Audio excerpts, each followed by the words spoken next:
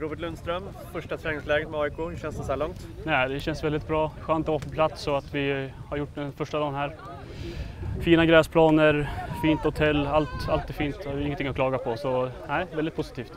Andra passet avklarat för dagen nu. Eh, hur skönt var det att köra med boll nu på eftermiddagen? Nej, men det är riktigt skönt. Alltså, det är så pass bra planer här också. Så det, är, ja, det, är skönt att, det är skönt att träna fotboll.